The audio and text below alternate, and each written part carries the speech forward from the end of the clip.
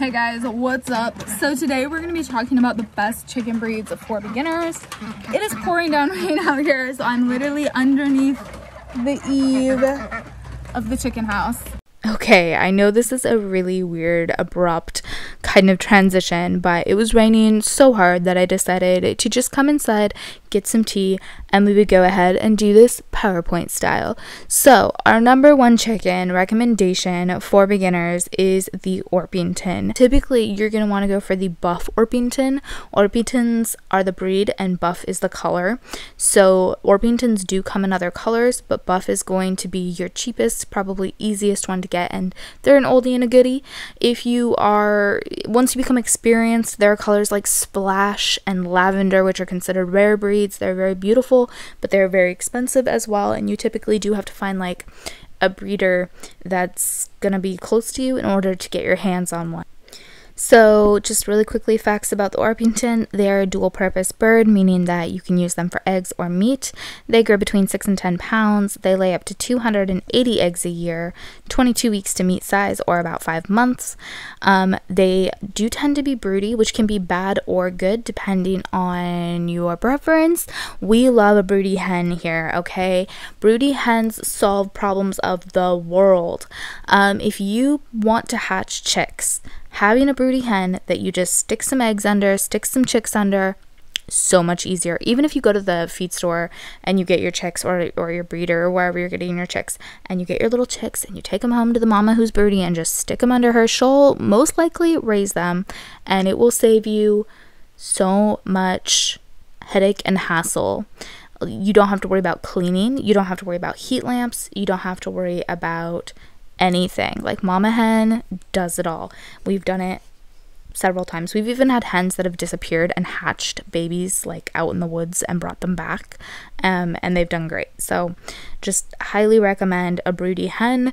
But if you're really somebody who's like doesn't care about hatching eggs and you just want egg production, having them grow broody means they're not going to be producing for you and they're just going to be trying to like sit and hatch eggs. And if they don't have an egg to hatch, they can actually like starve themselves and die. So sometimes you have to like break the broodiness, um, and it can be a whole thing. So depending on what your purpose is in the future, you may or may not want a breed that tends to go broody. So, Orpingtons are also super friendly. They're probably the friendliest chicken overall in terms of all the breeds we've ever had. We've had chickens for like 20 years, and consistently, Orpingtons tend to have a really great personality. They're good with kids. Um, the roosters can go either way, they can be nice or mean, but they have a reputation for being somewhat nicer than other roosters.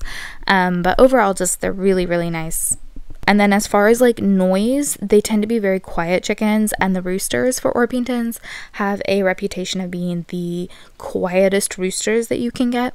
So if you are in a, I don't want to say urban area, because I don't think they allow chickens in most urban areas.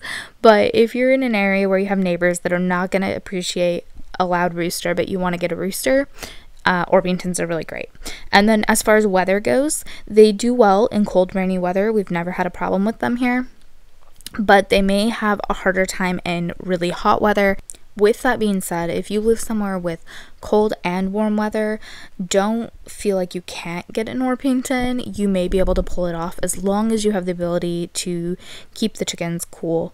Um, whether that is like maybe putting a fan in a shaded coop or offering some sort of ice water or something like that. There are different ways you can cool chickens in the summer. Number two is Rhode Island Red. Now, the Rhode Island Red breed is one of those breeds where people will say you can't go wrong if you get Rhode Island Reds. They are not my number two pick, but they are a lot of people's number one pick. And the primary reason for that is that they lay up to 300 eggs a year. So they are an extremely prolific egg laying chicken as far as dual purpose breeds go. Um, you can also use them for meat, obviously, dual purpose, but they are slightly smaller than other larger breeds like the Orpington. Um, they don't tend to get broody, which some people really like. Like I said, if you want to raise chicks, a broody hen is amazing. If not, though, then you're going to want to go with a non broody breed, and those can be hard to find in the dual purposes. Um, they are friendly. They can be a little pecky with like really small children. Um, they can also be more aggressive with like their flock. Like they can be pushier. They also have more like character in that way though, you know? Because like if you look at like an Orpington, they're super mellow, super laid back. Rhode Island Reds are a little bit more like, you know, friendly but ambitious maybe. Um, they can also be noisy, which goes along with their personality. Their personality to me is not as appealing as like an Orpington, but some people really love them. It just kind of depends on your preference. And um, as far as also like personality goes, though, Rhode, Rhode Island Red Roosters can be like some of the meanest roosters. So, I mean, we had a Rhode Island Red Rooster that everyone was scared of. Grown adult men were scared of that rooster. He was huge. He was mean. We could not get anywhere near the hen house. He was the worst. Um, he did a good job of protecting his hens, though, which is their purpose. So.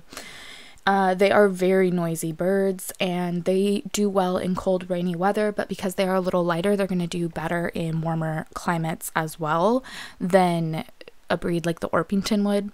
So if you get have an area that gets really hot, a Rhode Island Red would do better than a, a heavier chicken. Number three is the Easter egger. Easter eggers are also sometimes labeled as Americana, but Americana are a rare breed of chickens. So typically, if you're at like your local feed store and you see an Americana, it's going to be an Easter egger because Americanas are going to be priced a lot higher.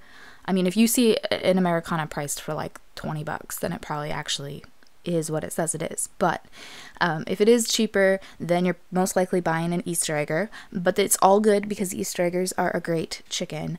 They are an egg laying breed.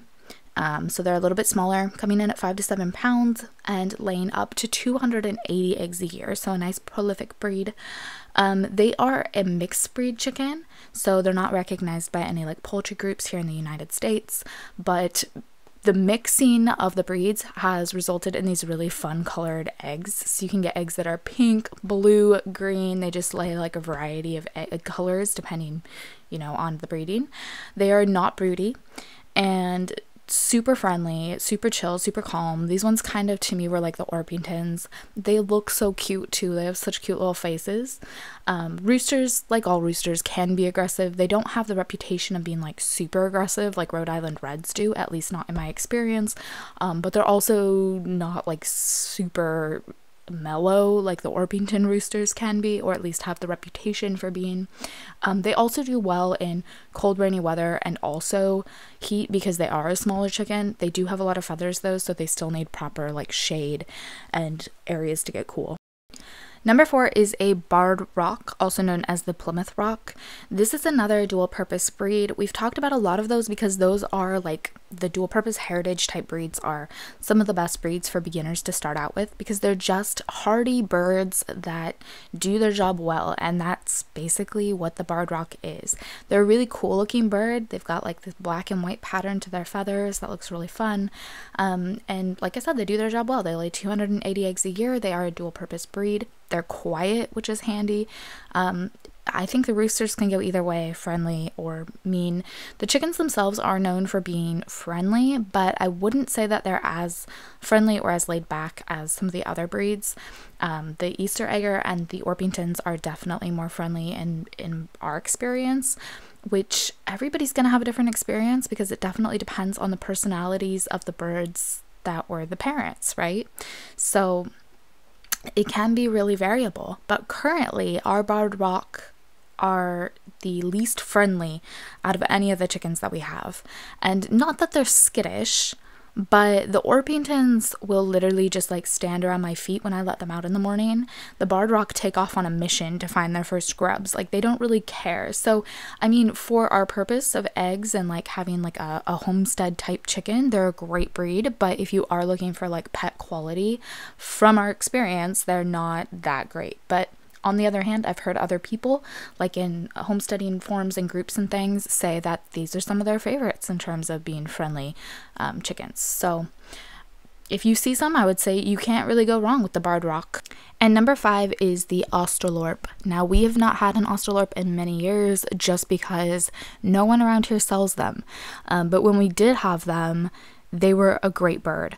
They do tend to be a little bit more on the shy side, so they still want attention, but you kind of have to earn their trust.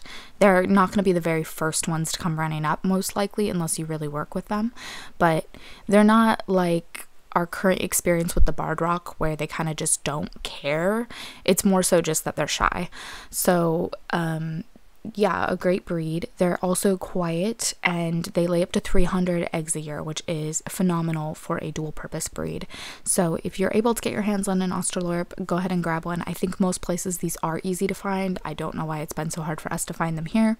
Um, and obviously hatcheries have them. We try to stay away from hatcheries but it is an option and uh, yeah, so those are the five best breeds of chicken for beginners that we're going to recommend today. There are other breeds that may be better suited for you, but for the most part, if you're looking for either an egg layer or a dual purpose breed, these are all really great breeds to get started with. And if you're not sure which one is like the right breed for you, don't be afraid to grab more than one breed of chicken. In fact, most backyard uh, chicken owners that I've seen have multiple types of chicken as long as you're not planning on like breeding them for show or something like that where you need to have them separate there's no reason you can't have multiple breeds together.